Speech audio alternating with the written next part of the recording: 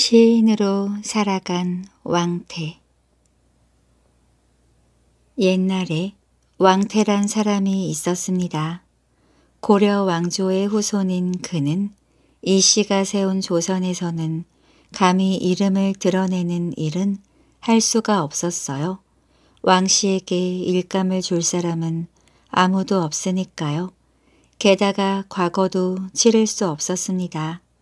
태조 이성계가 나라를 세운 지 300년도 더 지났지만 여전히 왕씨들은 오금을 펴지 못한 채 살아야 했습니다.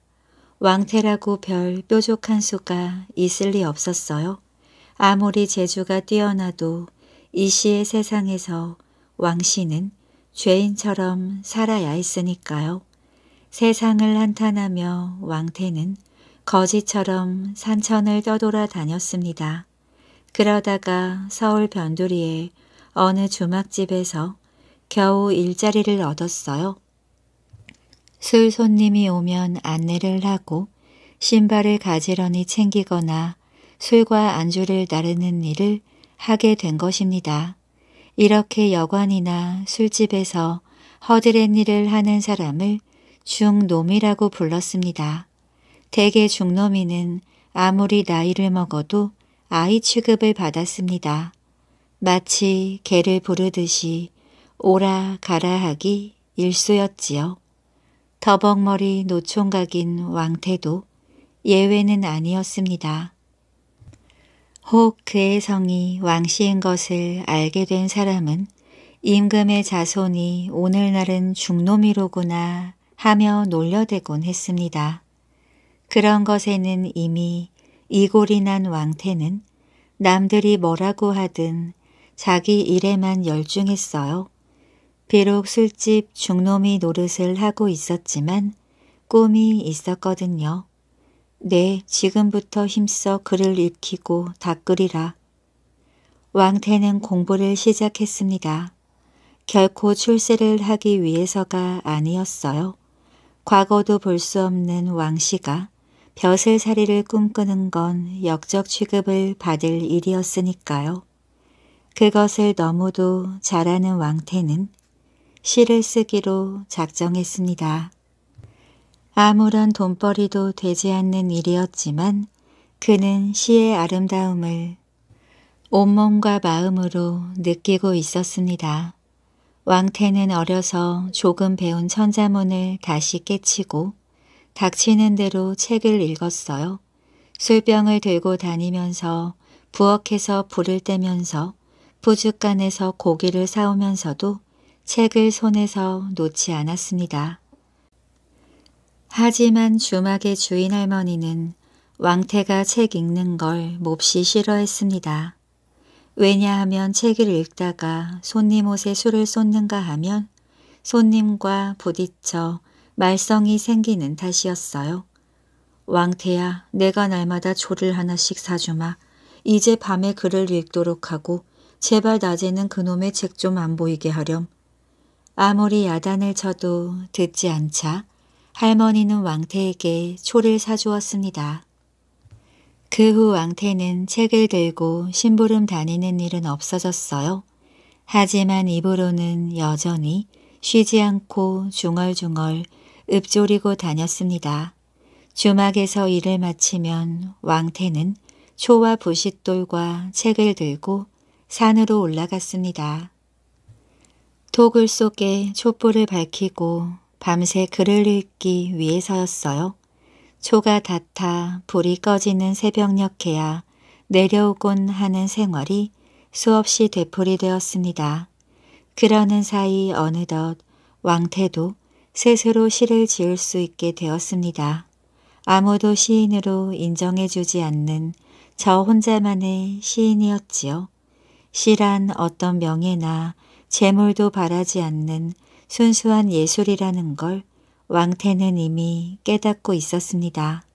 몸은 중노미로 괄시받을지언정 마음은 신선들과 함께 논일고 있었던 겁니다. 어느 가을날이었어요. 야트막한 산 중턱에 자리 잡은 주막에는 오색 단풍이 곱게 물들었습니다. 사울을 안고 도는 한강이 요요히 흐르는 광경이 한눈에 보이는 주막은 경치가 그만이었습니다. 봄, 가을이면 한량들이 소나무 그늘 아래 지은 작은 정자로 몰려들어 시를 짓는 모임을 열고는 풍경을 즐기곤 했습니다. 그날도 선비들이 무리를 지어 나들이를 왔습니다. 노래 잘하고 시도 읊을 줄 아는 어여쁜 기생들도 서너 데리고 왔지요. 하늘은 구름 한 점 없이 맑고 산에는 단풍이 연지곤지를 짓고 들에는 오곡백과가 황금 물결을 이루니 이 태평 성대에 어찌 시한 수가 없겠는가. 자 돌아가며 한 구절씩 읊어보세. 선비들은 먼저 술을 한 상 시킨 다음 돌아가며 시를 지었습니다. 기생들은 간간히 노래를 부르고 춤을 추어 흥을 돋우었습니다.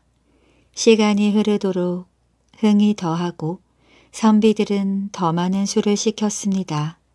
해가 지고 달이 떠도 선비들은 일어설 줄 몰랐어요. 왕태야 정자의 국화주 두 병 갖다 드려라. 노파가 소리쳤습니다. 왕태는 부엌으로 달려들어가 얼른 국화주 두 병을 쥐고 나왔습니다.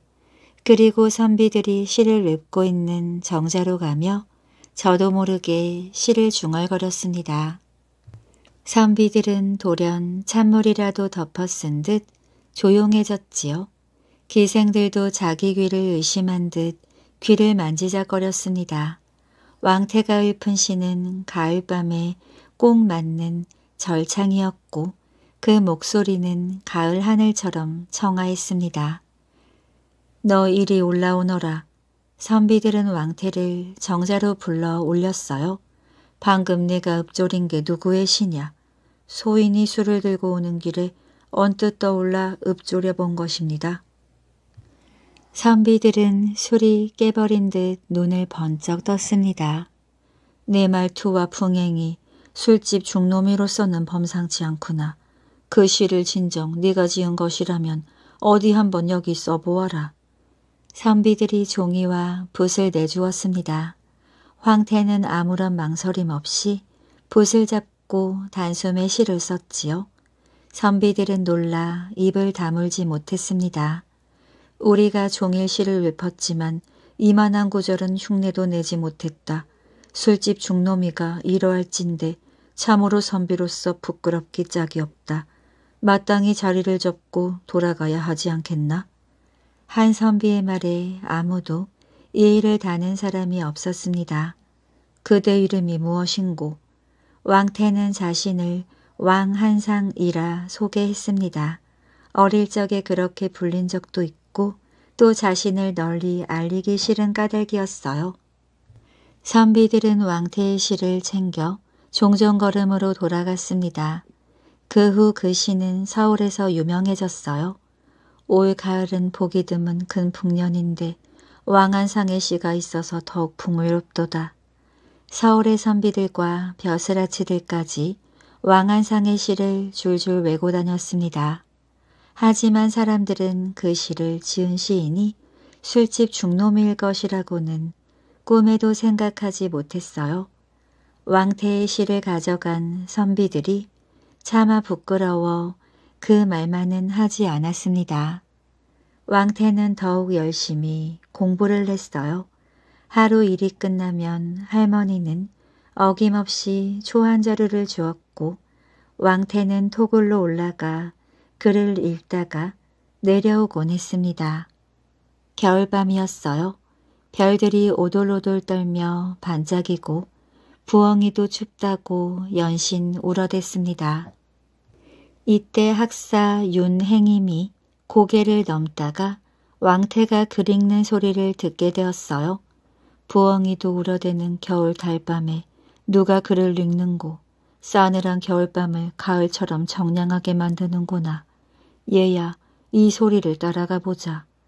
윤행임은 등불을 든 하인을 앞세워 토굴로 갔습니다. 이럴 수가. 윤행임은 너무 놀라 뒷말이 생각나지 않았습니다. 풀어 헤쳐진 더벅머리에 노더기를 걸친 채 글을 읽고 있는 왕태는 얼핏 보면 미친 사람 같았습니다. 섬짓 겁이 날 지경이었지요. 그러나 윤행임은 곧 의심을 풀었습니다. 글의 내용이 아름답고 목소리가 맑은 까닭이었어요. 윤행임은 왕태와 시에 대한 이야기를 나누었습니다. 시를 잘 지어 정조임금의 도타운 신임을 받는 윤행임이 한가 술집 중노미와 친구처럼 묻고 답하며 시를 주고받기도 했습니다. 그러다가 윤행임이 물었어요. 혹시 그대는 왕한상이 아니신가? 왕한상은 이미 시인들 사이에 소문이 나 있는 사람이었습니다. 혹자는 나를 왕한상이라 하나 본명은 왕태올씨다. 윤행임은 오랜 친구라도 만난 듯 더욱 반가워했습니다. 그리고 밤늦도록 왕태와 함께 지내고 이튿날 임금님께 그 사실을 아뢰었습니다. 왕태의 시를 익히 알고 있는 정조임금은 당장 그를 불러오라고 했습니다. 지난 가을의 시는 참으로 절창이었다. 이제 겨울끝 무렵이니 봄을 맞는 시를 한 수 읊어보라. 왕태는 임금 앞에서도 망설이지 않고 붓을 들었습니다. 검은 장막에 따사로운 바람이 일어나니 빛나는 아침 햇살 문에 비치네. 이 짧은 시는 정조의 마음을 사로잡았습니다. 정조는 왕태를 자신의 호위 부대인 장용영의 무관으로 임명했어요. 천민처럼 숨죽이며 살던 고려 왕씨의 후손이 어엿한 벼슬 자리에 오른 것입니다. 그 후 정조는 왕태가 시를 지어 올릴 때마다 푸짐한 상품을 주었습니다. 왕태는 조령 별장까지 승진했지만 끝까지 시인으로 살다가 이른 살에 숨을 거두었답니다. 벌 받은 나무꾼 옛날 어느 나무꾼이 나무를 하다가 뜻밖에도 부채 두 개를 주었습니다. 하나는 파랗고 하나는 빨간 것이었어요. 나무꾼은 마침 나무를 하느라 땀이 난 참이라 빨간 부채를 펴서 헐헐 얼굴을 붙였습니다. 그랬더니 참으로 이상한 일이 일어나고 말았어요. 나무꾼의 코가 뜨끈뜨끈하더니 점점 크고 높아졌습니다. 놀라 만져보니 한 주먹이 넘었어요. 아이고 이거 큰일 났네. 코가 이렇게 커서야 어디 장피스러워 남의 앞에 서겠나? 좋은 수가 없을까? 본디대로 코를 낮추어야 할 텐데. 나무꾼은 거의 울상이 되었습니다. 코만 높아진 것이 아니라 뜨겁고 화끈거려서 도무지 견딜 수가 없었어요. 우선 코를 서늘하게 식혀야만 했습니다. 빨간 부채로 붙이면 코가 더 커지고 더 뜨거워질 텐데 에라 모르겠다. 파란 부채를 붙여 코부터 식히자. 나무꾼은 코가 더 커질까봐 걱정이 안 되는 것은 아니었지만 큰 마음을 먹고 파란 부채로 훨훨 붙였습니다. 그런데 이게 웬일인가요? 그렇게도 높고 화끈거리던 코가 본디대로 낮아지면서 화끈거리지도 않았습니다. 참으로 신기한 일이었어요. 요것 봐라. 그럼 이 부채들이 요술 부채로구나. 나무꾼은 다시 시험을 해보기로 했습니다. 먼저 빨간 부채를 펴서 훨훨 붙여보았어요. 그랬더니 아까와 마찬가지로 금방 코가 높아지면서 화끈거리기 시작했습니다. 이번에는 다시 파란 부채를 펴서 붙여보았어요. 그랬더니 이번에도 금방 코가 낮아지고 본디대로 되었습니다. 나무꾼은 기뻐서 어쩔 줄을 몰랐어요. 너무도 기뻐서 그만 나무할 생각도 잊어버리고 부채 두 개를 가지고 집으로 돌아왔습니다. 집으로 돌아오자 나무꾼은 큰 소리로 부인을 불렀습니다. 이에 부인이 달려 나왔어요. 아니 오늘은 왜 나무를 해오지 않고 벌써 돌아왔소? 나무가 다 뭐요? 내 오늘 정말 보물을 주어서 횡재했소. 아니 벼랑간 횡재는 무슨 횡재요? 임자 놀라지 말어. 이거야 이거. 나무꾼은 호주머니에 찔러둔 부채 두 개를 부인에게 내어 보였습니다. 이거 부채 아니요? 부채지. 틀림없는 부채지. 그런데 말씀이야. 이 부채가 예사 부채와는 다르다 이 말씀이거든. 당신도 부채면 부채지 뭐가 다르단 말이오. 부인은 빨간 부채를 펴더니 자기 얼굴을 붙이려고 했습니다. 임자 큰일 나고 싶어. 그 부채 이리 내놓아. 그 부채 붙였다간 큰일 난단 말이오. 나무꾼은 얼른 빨간 부채를 빼앗았습니다. 당신 산에 나무하러 가더니 정신이 이상해졌구려. 임자, 내가 이 빨간 부채를 붙일 테니깐 내 코를 좀 보란 말이오. 나무꾼이 부채를 붙이기 시작했습니다. 그러자 코가 점점 높아졌지요. 에이구머니, 이게 무슨 일이오? 당신, 당신 코가. 징그러워라. 이 일을 어쩌면 좋아요, 여보. 큰일 났어요. 의원을 불러올까요? 의원? 무슨 놈의 의원을 불러온단 말이오? 내가 의원인데 그러고 나서 이번에는 파란 부채를 붙였습니다. 그러자 코가 본디대로 되었어요. 부인은 신기해서 어쩔 줄 몰랐습니다. 여보, 이 요술 부채 어디서 났소? 어디서 나긴 내가 나무 하다가 주운 것이지. 산신령이 내게 선사한 것이오. 내가 마음씨 착하고 부지런히 일하니까 산신령이 감동해서 내게 주신 보물 아니겠소? 나무꾼은 혹시 자기 이외의 사람도 그렇게 되나 안 되나 부인에게도 시험해 보았습니다. 그랬더니 부인의 코도 그렇게 되었지요. 두 부부는 정말 보물을 얻었다면서 기뻐했습니다. 여보, 이 부채로 우리 돈을 법시다. 이젠 나무 같은 건 하지 않아도 편안히 살 수 있게 되었소. 돈을 벌다니요? 어떻게 해서요?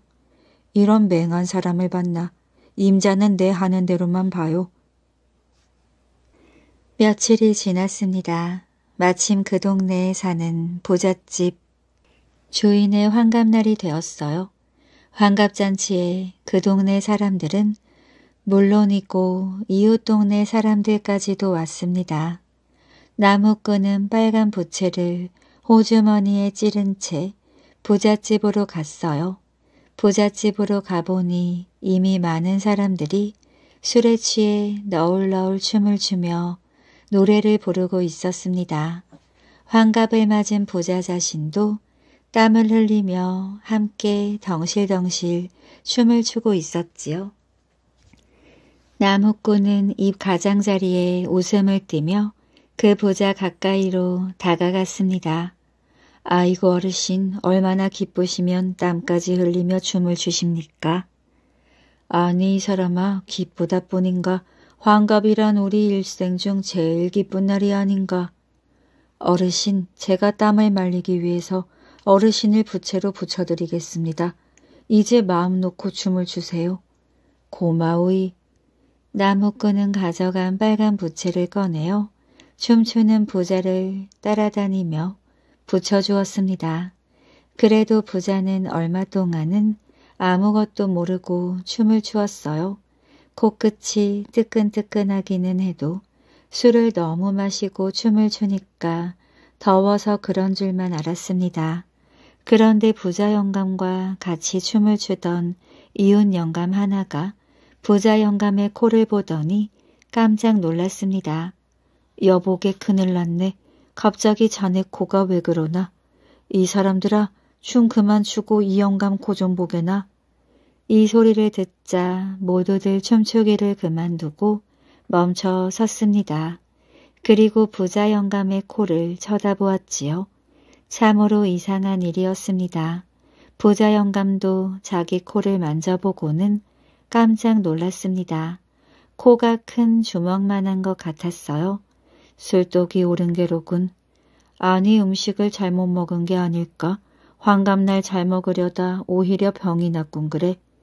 여기저기서 야단들이었습니다. 이 소동을 틈타서 나무꾼은 몰래 빠져나와 자기 집으로 돌아갔습니다. 부자 영감은 코가 뜨끈거려 소리소리 질렀습니다. 아이 코야.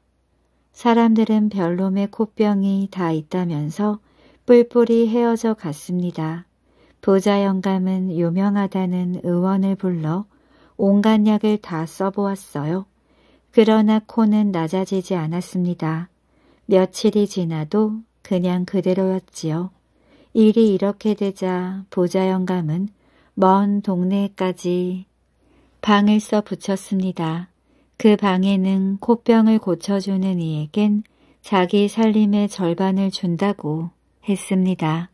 이 소문을 들은 나무꾼은 이제 틀림없이 부자가 된다고 생각하며 파란 부채를 호주머니에다 찌르고는 부잣집을 다시 찾아갔어요. 어르신, 코병이 아직도 안 나으셨군요. 이거 큰일 나지 않았습니까? 여복의 말막에 아만한 이 병으로 죽나 보네. 방을 사방에다 써붙여 놓았지만 개미 새끼 한 마리도 찾아오지 않으니 이젠 도리 없이 이 병으로 죽게 되었네. 어르신, 그 병 제가 한번 고쳐볼까요? 옛끼 사람 남은 아파서 죽겠는데 농담하는 것인가? 어르신 농담이 아닙니다. 이 사람아 의원도 못 고치는 병을 자네가 무슨 수로 고치나? 들림없이 고쳐드릴 테니 그 방에 써붙인 대로 해주실 수 있겠습니까? 그야 무슨 수로라도 병만 낫게 해준다면 여부가 있을라고. 그럼 좋습니다. 여기 누우셔서 눈을 감으십시오. 보자 영감이 나무꾼 앞에 반드시 누웠습니다. 나무꾼은 파란 부채를 대어 보자 영감의 코를 살랑살랑 붙여주었어요. 그러자 영감의 코가 점점 낮아지더니 본디대로 되었습니다. 이것을 본 나무꾼은 얼른 부채를 호주머니에 넣어버렸어요.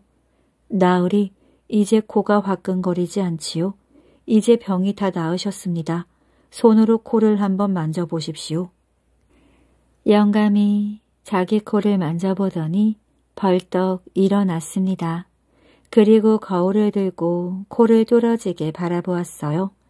틀림이 없었습니다. 그렇게도 화끈거리던 코가 씻은 듯이 낮고 본디대로 낮아졌어요. 여보게 참으로 고맙네. 자네야말로 의원보다 낫네. 그럼 나으리 그 살림 주다 말다 자네야말로 나를 구한 은인인데 그까지 살림이 문제인가? 이리하여 나무꾼은 부자의 살림 절반을 받아 편안히 살았습니다. 이제는 고된 일을 하지 않고 빈둥빈둥 놀거나 낮잠 자는 것이 일이었지요. 어느 날 나무꾼이 뒤뜰 감나무 밑 평상에서 낮잠을 자고 있었어요. 그 옆에는 파란 부채와 빨간 부채가 놓여 있었습니다. 나무꾼은 언제나 이 두 부채를 가지고 다녔어요. 그런데 이때 부잣집 고양이가 나무꾼네 집 담 위에서 집안을 두루 살피고 있었습니다. 이 고양이는 얼마 전에 나무꾼이 빨간 부채로 주인의 코를 높여놓고는 파란 부채로 코를 낮추는 비밀을 다 보았습니다.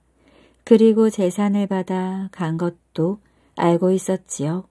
그래서 고양이는 그런 일이 있은 뒤 늘 나무꾼의 집을 드나들면서 부채를 어디에다 두나 하고 그것만 살폈습니다.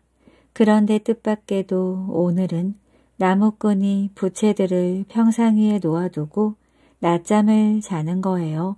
이것을 본 고양이는 좋은 기회라고 생각했습니다. 옳지 됐다. 나를 사랑해주는 주인에게 은혜를 갚을 기회가 생겼구나. 저 부채를 물고 가야지.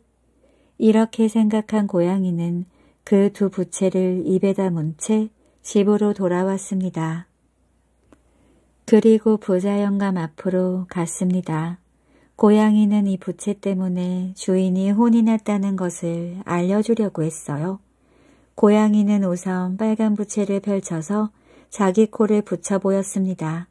그랬더니 고양이의 코가 점점 커지는 거예요. 이 광경을 본 부자 영감이 눈을 휘둥그러니 뜨며 놀랐습니다. 고양이가 다시 파란 부채를 펴서 살래살래 붙이자 코가 본디대로 낮아졌어요. 이것을 본 부자 영감은 무릎을 치며 고개를 끄덕이더니 고양이의 등을 쓸어주었습니다. 부자 영감은 자기의 병이 이 부채 때문이었고 부채의 주인이 나무꾼인 것을 그때야 비로소 알 수 있었어요. 영감은 당장 하인들을 보내서 나무꾼을 잡아오게 했습니다. 그러고 나서 빨간 부채로 나무꾼의 코를 붙여 조망만하게 만들고는 관가에 넘겨버렸답니다. 며칠 뒤에 관가에서 부자 영감이 나무꾼에게 준 살림을 되찾아 주었으며 나무꾼은 자기가 지은 죄만큼 벌을 받게 되었답니다. 벼슬에 오른 고유 경상도 고령 땅에 한 소년이 찾아들었습니다. 고향은 전라도 광주인데 부모를 잃고 떠돌다가 흘러들었다고 했어요. 풍채에 벌써 장골티가 나는 소년의 이름은 고유였습니다. 전라도 광주에서 학자와 의병장으로 이름이 높았던 고 경명의 아들이었어요. 아버지가 외고에게 돌아가시자 떠돌이 신세가 된 것이었습니다. 사람들은 그런 그를 그저 고도령이라고 불렀습니다. 고도령은 남의 집에서 머슴살이를 했습니다. 그는 매우 성실하게 일을 잘했어요. 그를 익히지 않았는데도 총기가 있었고 고경명의 후손답게 품위를 잃지 않았습니다. 주인은 그를 몹시 아꼈고 사람들도 그를 고도령이라고 부르며 함부로 대하지 않았습니다. 고도령은 장기 실력이 뛰어났어요. 때문에 장기에 취미가 있는 사람은 누구나 고도령과 장기를 두고 싶어 했습니다. 그 마을에 박좌수라는 사람이 있었습니다. 비록 가난하게 살았지만 글을 많이 읽었고 사람을 보는 눈이 뛰어났습니다. 또한 장기 실력도 마을에서 으뜸이었어요. 그런 박좌수를 어느 날 고 도령이 찾아왔습니다. 좌수 어른께 장기 한수 배울까 하고 찾아왔습니다. 자네가 고도령인가? 실력이 뛰어나다니 나도 한번 보고 싶었네. 그런데 나는 장기를 둘 때 꼭 내기를 한다네. 자네는 뭘 걸 텐가? 고도령은 기다렸다는 듯이 대답했습니다. 제가 지면 3년간 머슴살이를 하겠습니다. 자네가 이기면 저를 사위로 맞아주십시오. 이런 당돌하고 괘씸한 놈이 있나? 박좌수는 몹시 기분이 나빴지만 그러겠다고 했습니다. 자신의 장기 실력을 믿은 것입니다. 그런데 웬걸요? 고도령이 거푸 장군 장군하며 밀고 들어오는데 멍군 멍군하기도 바빴습니다. 이마에 땀을 흘리며 쩔쩔매던 박좌수는 결국 내리 세 판을 지고 말았답니다. 이제 약속대로 저를 사위로 맞아주실 거지요? 고도령이 채근하자 박좌수는 벌떡 일어나 장기판을 걷어 차버렸습니다. 박좌수는 버럭 화를 내며 말했지요. 머슴살이나 하는 고아주지에 어디서 감히 허튼 소작이냐. 썩 꺼져라. 고도령은 침착하게 인사를 하고 물러갔습니다. 무슨 일로 그리 화가 나셨습니까? 얼굴이 불그락 푸르락 하는 아버지를 본 박좌수의 딸이 물었습니다. 고도령이란 놈이 감히 너에게 장가를 들겠다고 하지 뭐냐? 택도 없는 소리지. 흥분한 아버지와 달리 딸은 침착하게 말했습니다. 너무 노여워 마십시오. 고도령이 비록 지금 머슴살이를 하고 있지만 보통 사람이 아닙니다. 훗날 반드시 큰 인물이 될 터이니 괄시하지 마시고 청을 들어주시옵소서. 딸의 말에 박좌수는 어안이 벙벙한 표정으로 물었습니다. 그럼 너는 쥐뿔도 가진 게 없는 고도령한테 시집을 가겠다는 말이냐? 박좌수는 어여쁘고 슬기로운 외동딸을 몹시 아꼈습니다. 자신은 가난하지만 번듯한 집안에 시집 보내리라고 다짐한 터였지요. 그런데 딸은 머슴에게 시집 가는 걸 마다하지 않았습니다. 오히려 자신이 바라던 신랑감이라는 듯 고도령을 칭찬하는 것이었어요. 아무리 잘 자란 나무도 깎아야 대들보가 되고 귀한 옥도 다듬어야 보석이 됩니다. 마찬가지로 고도령도 학문을 갈고 닦는다면 귀하게 쓰일 것입니다. 딸의 말에 박자수는 고개를 끄덕거렸습니다. 생각해보니 자신이 너무 화를 낸 것 같았어요.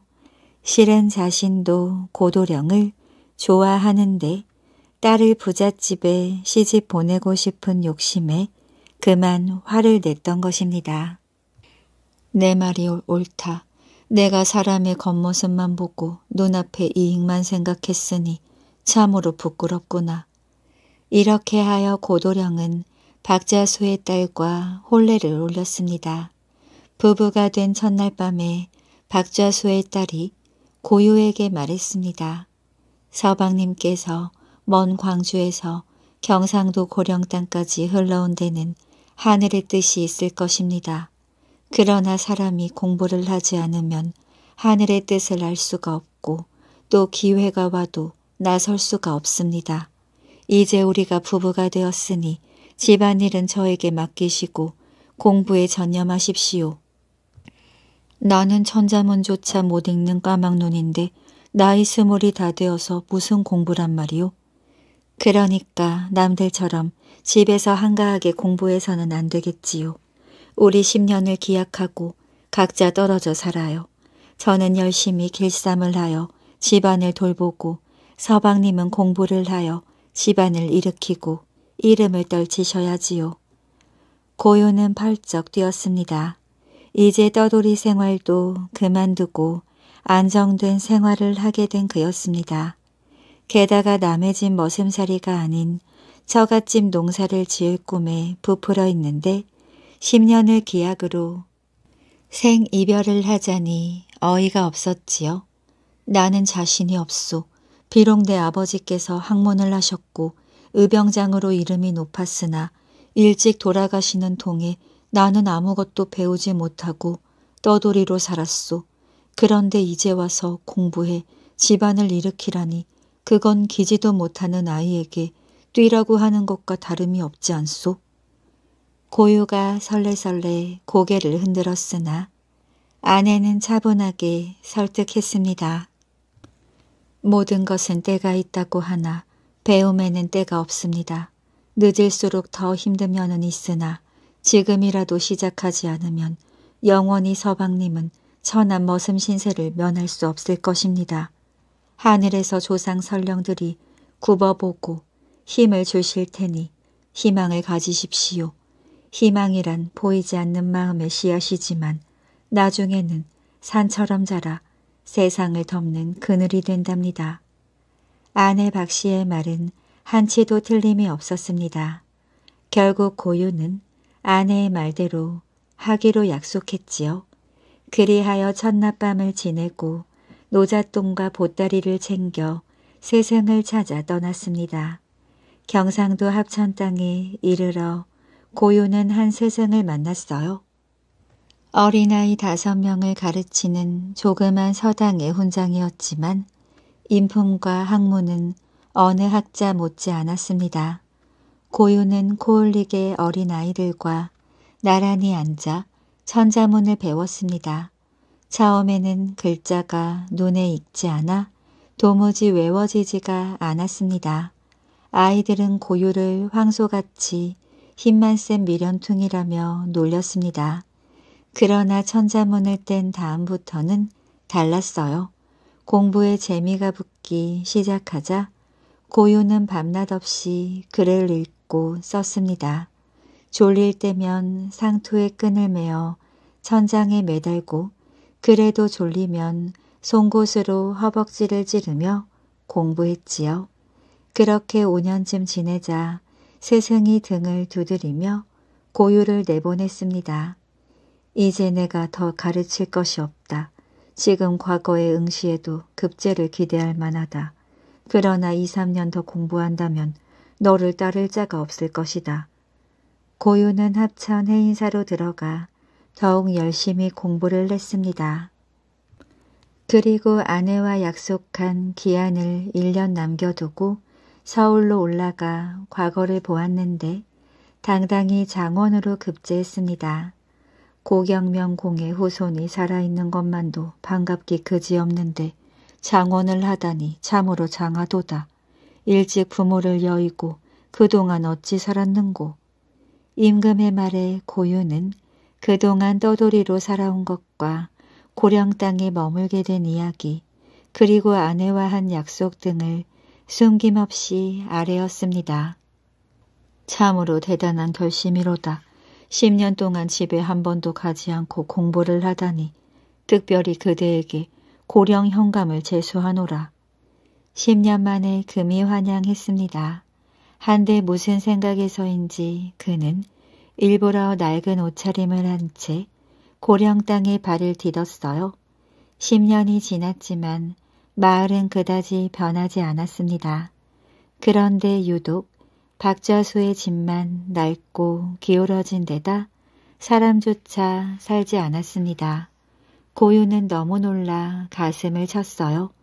가장이 없으니 어찌 살림을 꾸려갔겠는가. 병이 들어도 약을 쓰지 못했을 것이오.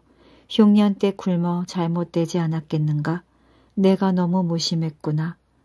고유가 대문 앞에 주저앉아 한탄하고 있으니 지나가던 한 스님이 말했습니다.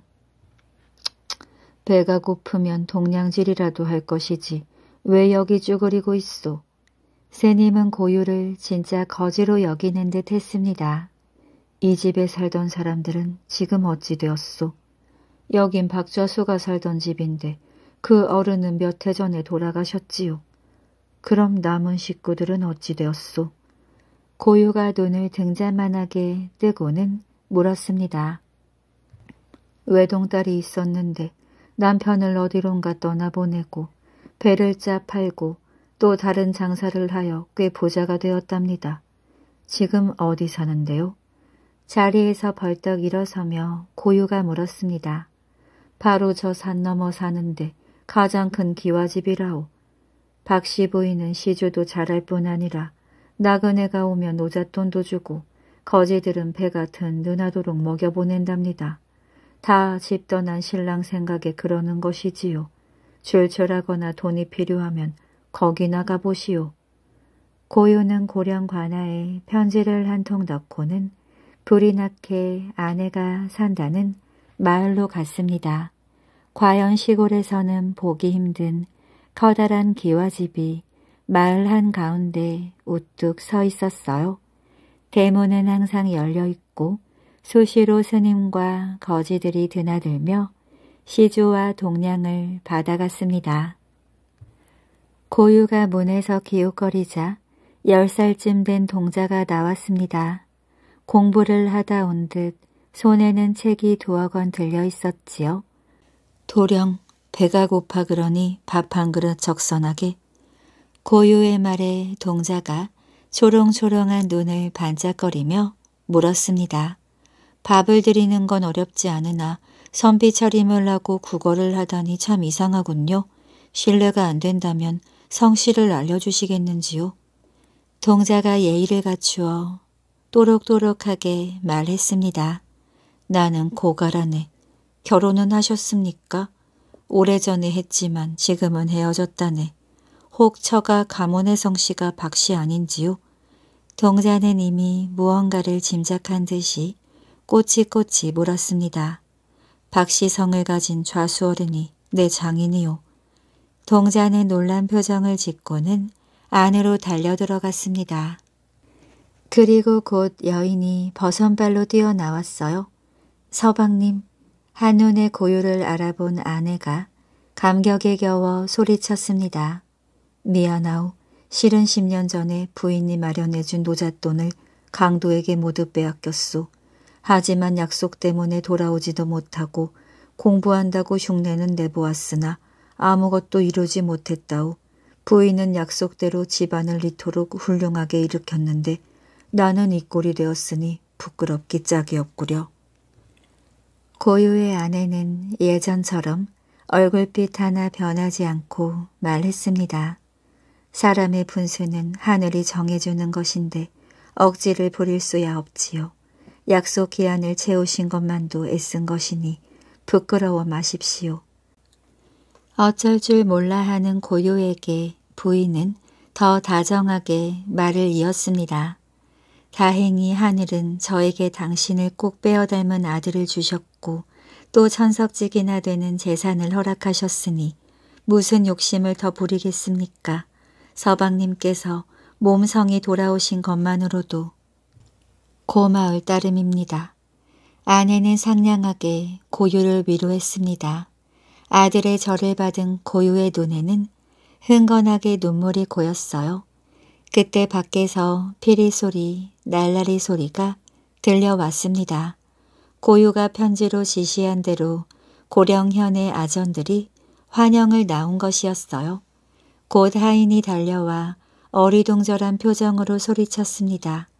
마님, 관아에서 사람들이 신관 사또를 모시러 왔다고 합니다. 이게 대체 무슨 소립니까? 고유는 아내를 보고 빙긋이 웃었습니다. 아내는 벌써 눈치채고 있었다는 듯 웃음을 머금고 말했지요. 짐작은 했지만 장난이 너무 심하시옵니다. 깜빡 속을 뻔했습니다. 그때서야 고유는 아전이 가져온 관복으로 갈아입고 아내에게 사실을 말했습니다. 이튿날 고유의 아내는 크게 잔치를 베풀었어요. 그리고 많은 재산은 이웃에게 골고루 나누어 주었습니다. 남편이 벼슬길에 올랐으니 다른 재산이 필요 없다는 것이었지요. 훗날 고유는 영남 관찰사를 지내고 벼슬이 참판에 이르렀다고 합니다. 어리석은 양반 옛날에 어리석은 양반이 있었습니다. 어느 눈 오는 날 이 양반이 돌쇠란 머슴을 데리고 꿩 사냥을 나갔습니다. 한방눈은 펑펑 쏟아지고 발목은 눈 속에 푹푹 빠지는데 겨우겨우 꿩 한 마리를 잡았지요. 산을 내려가려면 시간이 걸리니 이쯤에서 꿩을 구워 먹고 가자꾸나. 배고프던 참에 꿩을 구워 먹자니 돌쇠는 신이 나서 불을 피웠습니다. 고기 익는 냄새가 솔솔 풍겨 나오자 돌쇠란 녀석은 침을 꼴깍꼴깍 삼켰어요. 그 모양을 본 양반은 슬그머니 고기 욕심이 생겨났습니다. 저 아까운 고기를 돌쇠놈과 나눠 먹어야 하다니. 그러다가 양반은 한 가지 꾀를 생각해냈어요. 돌쇠야, 줄 끝에 까짜를 넣은 세 줄로 된 실을 짓도록 하자. 실을 먼저 짓는 사람이 고기를 다 먹는 거다. 양반은 글도 모르는 머슴놈이 무슨 실을 지으랴 싶었습니다. 바로 그때 돌쇠가 노릇노릇 맛있게 구워진 꿩다리 한쪽을 쭉 찢어 번개처럼 입으로 가져가는 거예요. 그러고는 한다는 소리가 야들야들 다 익었을까? 쫄깃쫄깃 맛이 있을까? 냠냠 한번 먹어볼까? 양반은 화가 나 펄펄 뛰었습니다. 이놈아 시도 안 짓고 왜 고기를 먹느냐? 그러자 돌쇠가 말했어요. 까짜로 끝나는 세 줄로 된 실을 짓기로 하지 않았습니까? 양반은 할 말이 없어 입맛만 쩍쩍 다실 뿐이었습니다. 그러자 돌쇠가 꽁다리 한쪽을 쭉 찢어 양반에게 주면서 이러는 거예요. 고기를 안 드시면 기운이 없을 게 아닙니까? 기운이 없으시면 넘어질 게 아닙니까? 넘어지면 제가 업고 가야 하지 않겠습니까? 이번에도 까짜로 끝나는 시 세 줄을 지으며 놀리는 겁니다. 양반은 혼자 욕심부린 것이 부끄러웠어요. 그래서 그저 껄껄 웃었지요. 이렇게 해서 사이좋게 고기를 나눠 먹은 두 사람은 더욱 친해져서 산을 내려왔답니다. 글 모르는 머슴이라고 우습게 보았다가 큰 코 다칠 뻔한 겁니다. 피가 난 돌미륵 옛날 옛적에 경치가 아름다운 마을이 있었습니다. 이 마을에는 부자들만 살았는데 모두 사치스러웠대요. 정동으로 다리를 만들어 건너고 집안에서도 찰떡으로 불도를 하는 등 사치가 이루 말할 수 없었지요. 그러면서도 마을 인심은 어찌나 인색하고 고약한지 절대로 누구를 돕거나 남을 위해 돈 쓰는 일이 없었습니다. 어쩌다 스님이 와서 시주를 달라고 해도 시주는 고사하고 공연한 욕설을 퍼부어 돌려보낼 지경이었어요. 한 번은 어떤 스님이 시주를 갔습니다. 그런데 집집마다 돌아다녀도 시주가 뭐냐 하며 문을 꽉꽉 닫고 들어가는 겁니다. 쌀 한 대박 주는 사람 없고 돈 한 푼 주는 사람이 없었어요. 해는 저물고 어디 가서 좀 자야 할 텐데 말입니다. 이렇게 인심이 사나우니 이놈들 이제 너희는 다 죽었다. 스님은 이렇게 생각하며 마지막으로 한 집을 찾아갔습니다. 스님이 시주 받으러 왔다고 목탁을 치면서 연보를 외니까 사랑방 문이 열리며 점잖은 영감이 나왔습니다. 어, 대사님, 이리 들어오세요. 날이 저물었는데 어떻게 이렇게 다니십니까?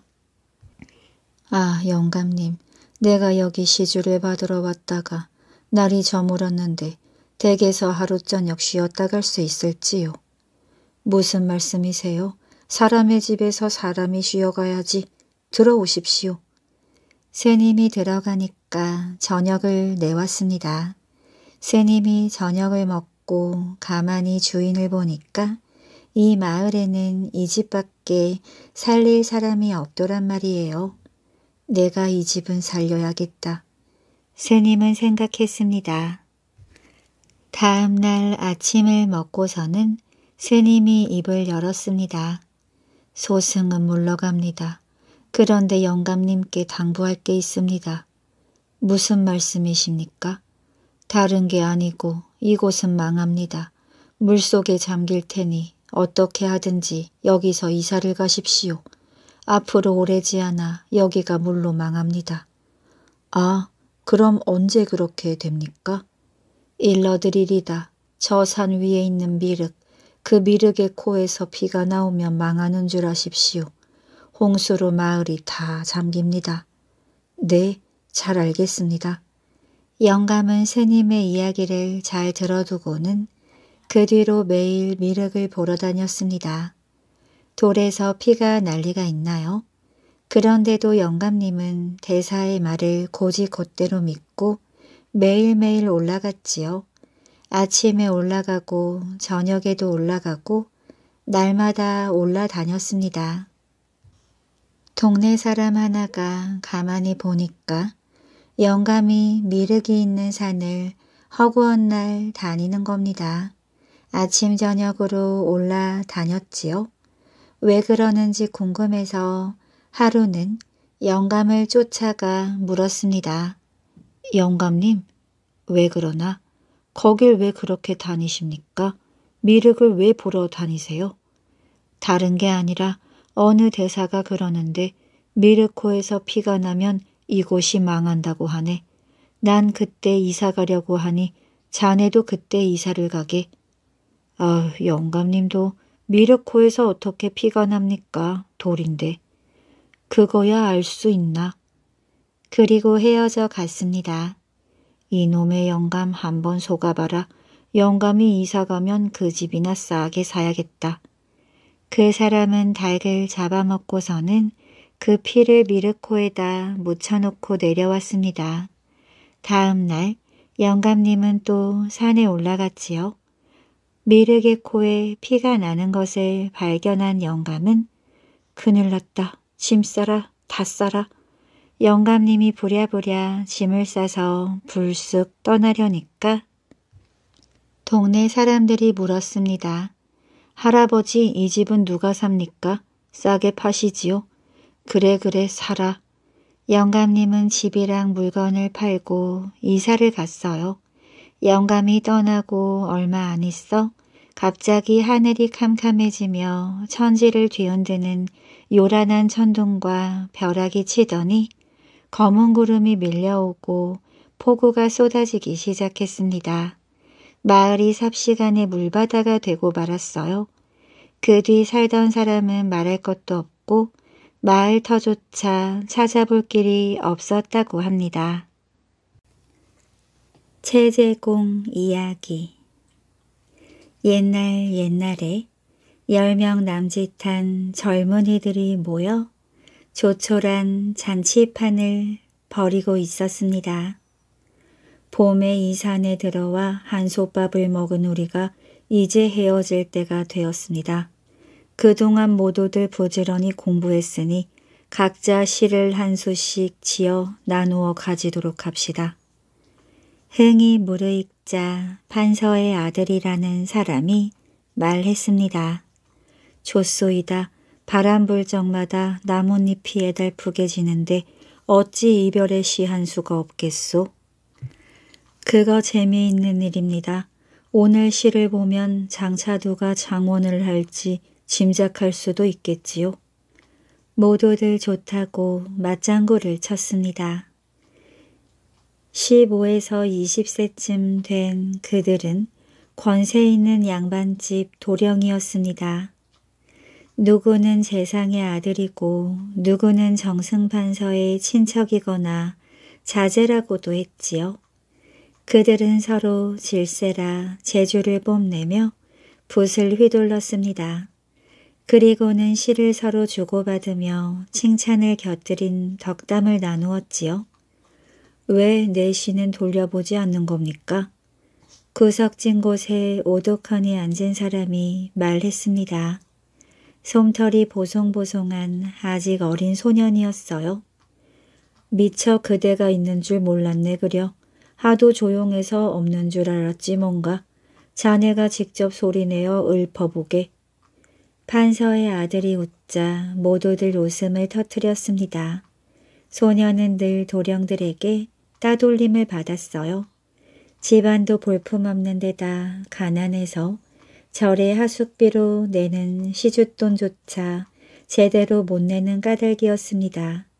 하지만 소녀는 언제나 아무렇지도 않은 듯 당당했습니다. 가을바람 불어오니 잣나무엔 매가 새끼를 치고 눈 내려 텅 빈 산에 호랑이가 전기를 기른다. 도령들은 언뜻 시를 이해하지 못해 고개를 갸웃거렸습니다. 그때 한 도령이 입을 열었어요. 매와 호랑이의 기상을 본받으려는 건 좋지만 너무 허황되지 않은가?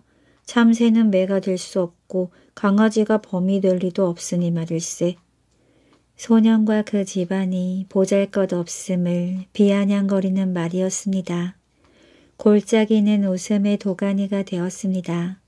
하지만 소년은 아무렇지도 않은 듯 일어서서는 공손히 절을 하고 물러갔어요. 고개를 갸웃거리던 재상의 아들이 소년의 시를 다시 보고는 챙겨 넣었습니다. 아버님 이 시를 좀 보아주십시오. 뭔가 깊은 뜻이 있는 듯한데 도무지 알 수가 없습니다. 집으로 온 재상의 아들은 아버지에게 소년의 시를 보여주었습니다. 이게 누구의 시냐? 재상이 눈을 크게 뜨고 물었어요. 이번에 같이 절에서 공부한 친구가 이별자리에서 지은 것입니다. 틀림없이 너와 친구들이 그를 돌려대며 업신여겼겠구나. 예, 아직 어리기도 하고 집안이 볼품없어서 아무도 가까이 하지 않습니다. 그런데 그걸 어떻게 하셨습니까? 어리석은 녀석들. 재상은 혀를 끌끌 차고는 실을 풀이해 주었습니다. 매는 가을에 새끼를 치지 않는다. 가을에 태어났다면 추운 데다 제대로 먹지도 못해 용맹스런 매가 되지 못할 테니까. 이는 곧 소년이 자신을 놀려대는 너희들이 볼품없는 물이라고 조롱한 것이다. 다음 구절은 무슨 뜻입니까? 아들이 놀라워하며 물었습니다. 생각해보아라. 눈으로 덮인 산에서 호랑이가 홀로 달빛을 받으며 기계를 기르는 모습을 이는 어떤 어려움에도 굽히지 않는 대장부의 억센 기상과 용기를 말하는 것으로 곧 자기 자신을 나타냅니다. 그 아이 이름이 무엇이더냐? 충청도 홍주 사람인데 관심을 두지 않아 이름은 잊었습니다. 재상이 무릎을 철썩 치며 말했습니다. 너는 참으로 아까운 벗을 놓쳤다. 이 아이는 장차 크게 될 인물임에 분명하거늘. 인물은 역시 인물을 알아보는 법일까요? 재상은 시만 보고도 그 가난한 소년이 장차 크게 되리라는 걸 알아차린 것입니다. 그 소년의 이름은 바로 최재공이었습니다. 최재공은 매우 가난했어요. 하지만 언제나 당당했고 선비의 채통을 잃지 않았습니다. 가정 형편에 굴하지 않고 열심히 공부한 그는 15세 지방 과거에 합격한 다음 서울의 성균관에서 공부를 했습니다. 청년이 된 최재공은 대과를 치르고 싶었습니다. 그때까지도 가난은 그의 삶을 옥죄어 지필목조차 마련할 길이 없었어요. 이에 최재공은 어느 재상집을 찾아갔습니다. 15세 초시를 한 후 7, 8년 공부하다가 한번 제주를 시험코자 합니다. 그러나 과거에서 사용할 종이와 붓과 먹이 여의치 않아 대감의 도움을 얻고자 찾아왔습니다. 군데군데 기운 자국이 뚜렷한 낡은 도포를 입고 도움을 청하면서도 제제공은 당당한 얼굴이었습니다. 이런 기계 있는 모습에 감동한 재상은 즉시 지필목을 한 짐이나 되게 주었지요. 아니 자네 왜 쳐다보고만 있나? 지 필목을 내주어도 크게 감사하는 빛도 없이 물끄러미 쳐다만 보는 최재공에게 재상이 물었습니다. 소인이 가난하고 의지할 데가 없다고 하여 재상께서는 선비로 하여금 이 짐을 등에 지고 가게 하시렵니까? 여전히 당당한 최재공의 말에 재상은 얼른 사과하고는 하인으로 하여금 져다 주게 했습니다. 감사합니다. 대감의 은혜는 결코 잊지 않겠습니다. 그때서야 최재공은 감사 인사를 하고는 재상의 방에서 나왔습니다. 그 순간 무언가가 툭 떨어졌어요. 낡은 도포 속에 걸쳤던 구피 조각이었습니다. 그것은 상민들이 입는 옷으로 소못 대신 추위를 막는 내복의 일종이었어요. 양반이 그런 옷을 입은 게 드러났으니 부끄러운 노릇이었습니다. 하지만 최재공은 조금도 당황하지 않고 재상댁 하인에게 구피를 메어달라고 했어요. 가히 재상감이로다. 당당하게 나가는 최재공의 뒷모습을 보며 재상이 중얼거렸습니다. 과연 그의 최재공은 대과에 급제했고 그 후 영조와 정조의 총애를 받으며 벼슬이 영의정에 이르렀다고 합니다. 오늘도 이야기 재미있게 잘 들으셨나요? 우리는 주변에서 공부해라, 공부해라 라는 말을 자주 하는 부모님들과 선생님들을 많이 만납니다. 그런데 대부분의 아이들은 공부를 싫어하지요? 싫은 공부를 하라고 하면 더 싫어질 것입니다. 앞에서 들려드린 시인으로 살아간 왕태 이야기는 역시 공부는 스스로 하고 싶어서 했을 때 효과가 크다는 것을 알려주는 이야기입니다. 그러면 부모는 싫은 공부를 하라고 하는 것이 아니라 공부를 하고 싶게 만드는 것이 선행되어야 할 것입니다. 그것은 공부뿐만이 아닙니다. 무엇이든 스스로 좋아서 했을 때 가장 빛을 발하는 것이랍니다. 오늘도 재미있는 이야기와 함께 편안한 잠자리 되시기를 바랍니다.